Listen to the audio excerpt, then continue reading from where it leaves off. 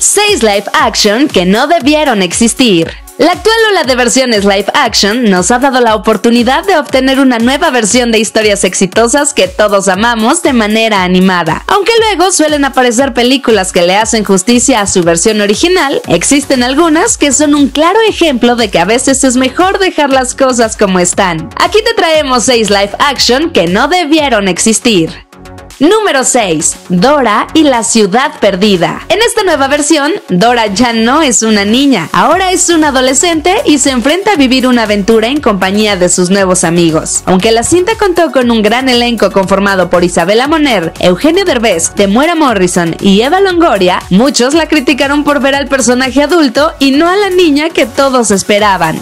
Número 5. El último maestro del aire. La adaptación de la popular serie animada Avatar, la leyenda de Aang, fue dirigida por M. Night Shyamalan. La cinta tuvo pésimos resultados críticos y fue rechazada por los fans de la serie. Aunque recuperó por creces su presupuesto, la película fue una decepción económica, considerando la popularidad de la fuente original. Además, protagonizó una controversia por acusaciones de whitewashing al contratar actores blancos en papeles que correspondían a personajes asiáticos o esquimales, lo que también empañó el desempeño del filme.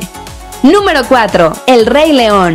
Esta película tenía expectativas muy altas por ser uno de los clásicos más icónicos de Disney, y aunque la cinta fue dirigida por John Favreau, uno de los directores más aclamados en los últimos años, la película decepcionó. Más allá de las actuaciones, lo que falló en la cinta fue que trataron de humanizar las expresiones de los animales creados virtualmente, cosa que les resultó imposible. Ese intento por hacer ver reales a todos los animales hizo que se tornaran inexpresivos Número 3. Aladdin. Todos recordamos al icónico genio de Robin Williams en la película de Aladdin de 1992, por lo que fue muy controversial la elección de realizar una nueva versión live action de este clásico. En esta nueva versión, Will Smith interpretó al genio y aunque no trató en ningún momento de estar a la altura de Williams o buscar la comparación e hizo un buen trabajo, los espectadores no lograron conectar con los personajes que en la caricatura conquistaron el cine. Número 2. Dumbo. A comparación de otros live action con animales digitalizados, Dumbo mostró otra historia de la original, con todo el encanto perturbador de las cintas de Tim Burton. El único problema fue que la historia dejó de centrarse en el pequeño elefante para centrarse más en los humanos, dejando una moraleja con personajes que terminaron por sentirse muy improvisados y forzados.